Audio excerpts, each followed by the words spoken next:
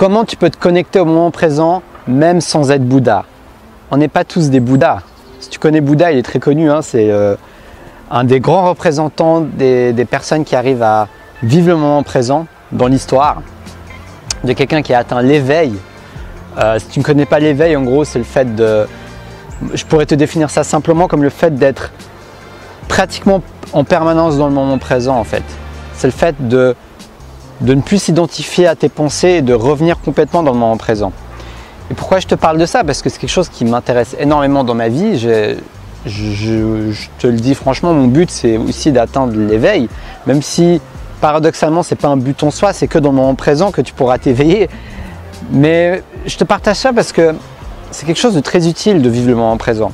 Que tu veuilles atteindre l'éveil, que tu veuilles devenir comme Bouddha ou pas comme Bouddha, dans tous les cas ça va t'être utile de t'ancrer de plus en plus dans le moment présent.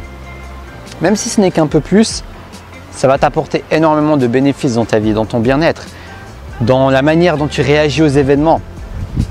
Et c'est pour ça que je voulais te partager avec toi ma réflexion sur comment être dans le moment présent même sans être Bouddha. Puisque tu vois, au début, moi, quand je, regardais toutes ces vidéos, toutes ces livres, toutes ces choses sur le moment présent, sur l'éveil, tout ça, je me disais, ouais, mais bon, moi, j'ai pas envie de devenir un moine, quoi. j'ai envie, de, envie de garder ma vie, j'ai envie de garder ma liberté, etc., etc. Et, tu vois, ça me tentait pas trop le style de vie de, moine bouddhiste. Mais déjà, ce qui, ce j'ai trouvé super intéressant, c'est de me dire que, que la liberté extérieure ne vaudra rien tant que je n'aurai pas acquis la liberté intérieure. Déjà, ça, c'est quelque chose de très puissant dans mon expérience qui m'a influencé. toute la liberté extérieure que je pourrais obtenir ne vaudra jamais la liberté intérieure. Parce qu'il n'y a pas besoin d'être en prison physiquement pour avoir la sensation d'être en prison. On est notre propre prisonnier de nous-mêmes. Et pour sortir de ça, ça te demande de t'ancrer dans le moment présent. Ça te demande de respirer, de prendre conscience de ce qui se passe autour de toi, à l'intérieur de toi. Voilà, de chacune de tes actions que tu fais, tu peux ajouter plus de pleine conscience. Et euh, si tu as envie d'approfondir le sujet, j'avais fait une vidéo où je te partage mon expérience que j'ai passée 10 jours sans parler. Donc je te mets le lien qui va apparaître dans la description de la vidéo. Et là, je te parle justement d'une expérience où j'ai justement fait 10 jours comme si j'étais un bouddhiste en fait, dans la peau d'un moine bouddhiste. J'étais vraiment pendant 10 jours en train de méditer, méditer, manger, dormir, méditer, méditer, méditer, j'avais rien d'autre à faire. Et tu vois, après cette expérience, tu pourras aller voir la vidéo, ça s'appelle euh, une retraite vipassana, mais il y a plein d'autres types de retraites qui existent également. J'ai pris conscience que, que c'était quelque chose de puissant, que ça m'a sorti complètement du monde, de la réalité. On était isolés, on était dans la nature, on n'avait rien à faire en fait, mis à part méditer. Donc ça m'a beaucoup appris cette expérience et depuis cette expérience, je me demande toujours comment je peux apporter cette présence que j'ai ressentie pendant ces 10 jours plus dans mon quotidien, même pendant que je te fais une vidéo, même pendant que je me brosse les dents, même pendant que je fais la cuisine, même pendant que je fais le ménage, même pendant que je parle à mes proches, à, mes amis, à toi, même pendant que je coach quelqu'un dans mes séances de coaching, comment être présent sans être un moine bouddhiste? Comment être présent même sans être Bouddha? Comment être présent tout en faisant me parle Comment être présent tout en évoluant dans mon but de vie? C'est vraiment la question que je me suis posée. Et tu vois, mon esprit commençait à shifter, à aller à gauche, à droite, à me dire. Euh, et tu vois, là, j'étais encore dans la pensée au final, parce que au final, la réponse, je la trouverai que dans le moment présent, c'est pas juste en réfléchissant dans ma tête. Mais tout de même, j'aimerais te partager les expériences qui m'ont aidé à ancrer le moment présent dans le quotidien, à ancrer le moment présent dans tes activités du quotidien et pas avoir besoin de devenir euh, un moine ou t'isoler quelque part pendant 10 jours pour commencer à goûter au pouvoir du moment présent. Ok? Donc, expérimente dans ton expérience et je vais te partager ce qui a fonctionné pour moi. La première chose qui a eu un impact significatif pour moi, et ça je, le, je remercie Kevin de la chaîne Moi en mieux. On avait fait une vidéo de collaboration. Je te mets le lien de cette vidéo dans la description. Et j'avais vu une de ces vidéos où il m'a inspiré il m'a partagé avec moi la, la technique du bracelet en fait. C'est-à-dire que il parlait dans sa vidéo d'un challenge qu'il a fait et ce challenge consistait à avoir plus conscience de ses pensées négatives, ses pensées auto-sabotrices, saboteuses comme on peut dire. Et pour en avoir conscience, il expliquait très bien que les pensées c'est quelque chose d'intangible et que c'est pas facile d'en avoir conscience. Donc, il utilisait cette technique du bracelet à chaque fois qu'il changeait son bracelet de main. Bah, en fait, c'était pour lui rappeler que il avait ce défi à faire de se prendre conscience de ses pensées. je me suis inspiré de ça pour mettre ça dans mon quotidien. C'est-à-dire que dès le moment, sauf que moi, au lieu de me dire que je me focalise sur les pensées destructives, négatives, je me suis dit, à chaque fois que je suis en train de penser, je vais toucher mon bracelet. Tu vois, moi j'ai fait à ma manière, j'ai pas mis le bracelet dans l'autre main, j'ai juste tourné. Donc, à chaque fois que je, je, me rends compte que je suis en train de penser, je touche le bracelet et je me dis dans ma tête, je prends conscience que je suis en train de penser. Et ça, ça m'a énormément aidé parce que ça m'a sorti du fait de combattre mes pensées, mais plutôt ça a shifté un nouvel objectif qui était juste de prendre conscience de mes pensées. Même si je suis en train de penser à 10 000 à l'heure, je ne suis pas en train de me dire arrête de penser, je suis en train de me dire à quoi tu étais en train de penser il y a deux secondes, à quoi tu étais en train de penser il y, a, il y a 20 minutes? Ou il y a 5 minutes, tu vois? À quoi tu étais en train de penser? Et le fait de me refocaliser sur ça, en fait, ça donne, j'ai remarqué quelque chose de puissant avec moi, c'est que ça a donné beaucoup moins d'impact à mes pensées. Et ça m'a permis, en fait, de, de mettre la méditation dans mon quotidien, pas juste pendant que je suis assis en train de méditer, mais vraiment pendant mes actions, pendant que je marche.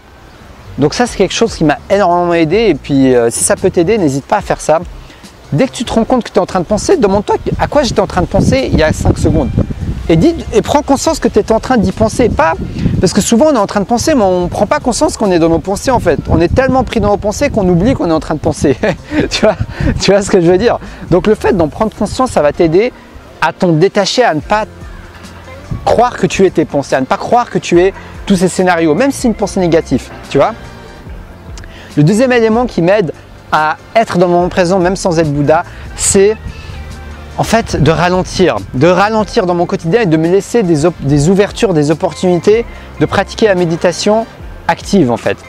Donc avant je me souvenais, j'étais souvent en train d'écouter des audiobooks dans la rue en permanence, j'avais très peu de moments dans mon quotidien, à part quand je méditais, où j'étais en train de rien faire, où j'étais disponible en fait à mon environnement. Et ce que j'ai constaté, c'est que j'ai ressenti ce besoin de ralentir, j'ai ressenti ce besoin d'en faire moins, d'écouter moins d'audiobooks. Ça t'empêche pas d'en écouter, mais d'en écouter moins. Pourquoi? Parce que le fait de me reconnecter au moment présent pendant que je suis en train de marcher dans la rue au lieu d'écouter un livre, même si ça va m'apporter des choses d'écouter un livre, pour moi c'était beaucoup plus prioritaire euh, que d'apprendre des nouvelles informations. En fait, je suis dans une phase en ce moment où j'aimerais me connecter au moment présent, c'est ma priorité. Et ça ne m'empêche pas de lire, de dédier un temps où je lis, ou dédier, peut-être 5-10 minutes où je suis en train de marcher en écoutant un audiobook. Mais j'ai décidé de ne pas le faire tout le temps, pas le faire pendant tous les moments de trajet, à vouloir à chaque fois remplir mon temps absolument, tu vois. Et ça, ça m'a beaucoup aidé à m'ancrer dans le présent. Parce que je me laissais une ouverture. Par exemple, je marche dans la rue, bah, ça me laissait l'ouverture d'écouter le bruit des voitures, d'admirer, d'être en contemplation de ce qu'il y a autour de moi, de la nature, des immeubles, peu importe ce qui se trouve autour de toi. Tu vois, profite de ces moments. Le troisième élément qui m'a aidé, c'est d'aller plus souvent dans la nature en fait. À chaque fois que je me déplace, à chaque fois que j'ai l'occasion de faire même une vidéo, et là je le fais dans le parc derrière chez moi, j'ai beaucoup de chance d'avoir ce parc qui me permet de pouvoir faire cette vidéo quotidienne dans la nature. Dans la nature, c'est beaucoup plus facile sans cadre dans mon présent. En tout cas, c'est mon expérience parce que on vient de la nature. La nature, c'est quelque chose qui nous correspond, c'est quelque chose dont on, d'où on vient en fait, dont on a naturellement envie d'aller. La ville, ça a été créé, les constructions, ça a été créé par l'homme, par l'être humain, par le modernisme, mais au final, les hommes, ils ont vécu dans la nature à la base. Donc, revenir aux sources m'a aidé également à, me reconnecter au moment présent. Et j'ai même essayé l'autre fois pour la première fois de méditer dans la nature et c'était une expérience vraiment incroyable que ça me donne envie de renouveler. Même si il y a des fois du bruit, il peut y avoir des, bah, des interruptions vu que tu es dehors, tu pas chez toi, mais c'est quelque chose qui, je sens, qui m'a beaucoup apporté. Donc si ça peut t'inspirer, n'hésite pas à tenter l'expérience, à te connecter à la nature. Et puis un autre élément qui m'aide beaucoup également, c'est la respiration. Le fait dans mon quotidien de respirer, mais pas de respirer en juste par les poumons, tu vois. De faire une respiration qui part du bas de la colonne vertébrale tout en bas et qui remonte. Et tu vois où tu sens ton, ton ventre se gonfler, tu vois, tu respires pleinement par les abdominales, par, le, par ton ventre et non pas juste une respiration courte où tu fais juste gonfler ta poitrine, tu vois. On a l'habitude de respirer des respirations très courtes, mais en fait, le fait d'aller en profondeur, d'aller tout en bas de ton corps, de ta colonne vertébrale jusqu'à tout en bas, le fait de faire cette respiration m'aide à me connecter dans le moment présent. Ce genre de respiration, je l'ai appris dans le yoga. Donc si tu veux développer ça, tu peux pratiquer du yoga également. Mais tu peux aussi simplement mettre un rappel comme le bracelet ou tout type de rappel qui t'aide à te souvenir de respirer. Quand tu es en situation de stress, quand tu sens que tu es en train de trop réfléchir, prends juste une grande respiration profonde.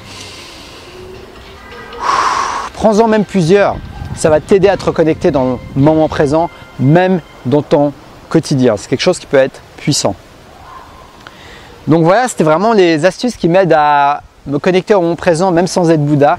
Donc je t'ai partagé les interrogations, les expériences que j'ai expérimentées euh, ces six derniers mois. Parce que j'ai fait cette retraite il y a six mois et depuis j'ai beaucoup réfléchi à, comment incorporer ça dans mon quotidien, dans ma vie active. Et bien sûr, ça ne m'empêche pas de refaire ce genre de retraite où on est isolé parce que le cadre est vraiment idéal pour s'améliorer. Mais ça ne t'empêche pas justement de trouver des solutions et, de vivre ta vie parce que bon, on est là on est vivant quoi, donc, donc chacun est différent et chacun aura un but de vie différent, chacun aura un style de vie différent. Et donc je trouve intéressant d'adapter ça à la vie moderne, à la vie quotidienne, même si tu n'es pas Bouddha, même si tu n'es pas un moine bouddhiste, tu peux te connecter en présent. Et le dernier élément que j'ai envie de te partager, c'est également une pratique spirituelle et une pratique qui te reconnecte en moment présent. Que ce soit la méditation, que ce soit la prière, que ce soit le yoga, peu importe, il y a tellement de choses mais le fait d'avoir une pratique régulière, ça va t'aider à t'ancrer. Tu auras un moment dans la journée, même si tu as beaucoup de choses à faire, tu auras au moins un moment, une routine dans la journée où tu la consacres pleinement à te consacrer, à te consacrer, à te concentrer au moment présent. Et ça, ça va être également quelque chose qui va te donner un rythme, qui va te donner une progression, tu vois, qui va t'ancrer dans le moment présent euh, petit à petit en ayant une pratique, même si tu ne le fais pas 10 heures par jour, tu même si tu n'es pas Bouddha, même si tu n'es pas moine. Donc, Regarde ma vidéo sur comment pratiquer la méditation, je te mets le lien qui va apparaître. Et puis voilà, c'était mes astuces pour pratiquer la méditation même sans être Bouddha. Donc j'espère que tu vois la valeur que peut t'apporter le fait d'être connecté au moment présent. Ça va t'aider énormément pour ta réussite, mais ça va bien au-delà de ta réussite. Ça va t'aider pour ton bien-être, mais ça va bien au-delà de ton bien-être. C'est vraiment la voie de la libération, le fait de se connecter au moment présent. Le fait d'être là, de prendre conscience de ce qui est, de ce qui est là. Tout ce qui se passe est là. Tout ce que tu fais, c'est dans le moment présent. Tout ce que tu penses, c'est dans le moment présent. Même si tu penses au passé ou au futur, c'est toujours dans le moment présent. Donc, te connecter au moment présent, ça va être le meilleur moyen de pleinement vivre ta vie. C'est vraiment l'essence de... Et j'aimerais te parler de ce sujet de plus en plus parce que je pense que c'est quelque chose qui va de pair à pair avec vivre ton but de vie et que ça va t'apporter beaucoup de sérénité et de liberté intérieure. Donc si cette vidéo t'a inspiré, cette vidéo à inspirer ta flamme intérieure à s'allumer. N'hésite pas à liker, à partager, à t'abonner parce que je suis motivé à te partager mon essence et à te partager avec toi mes inspirations et mes expériences à travers mes vidéos. Donc, euh, donc voilà, n'hésite pas également à, voir mes services de coaching que j'ai lancés récemment. Je viens d'être certifié coach de vie, j'ai fait cette formation euh, qui a duré un an. Et puis je me ferai un plaisir de t'accompagner. Euh, les premiers qui me contactent, en fait, j'offre la première heure de coaching selon mes disponibilités. Donc n'hésite pas à me contacter euh, dans le lien de la description et m'envoyer un email pour me dire que tu veux expérimenter une heure de coaching sans engagement. Donc je te remercie de me suivre. Je te dis à demain pour la prochaine vidéo. Et surtout, et surtout, et surtout, reste passionné, toujours dans le moment présent.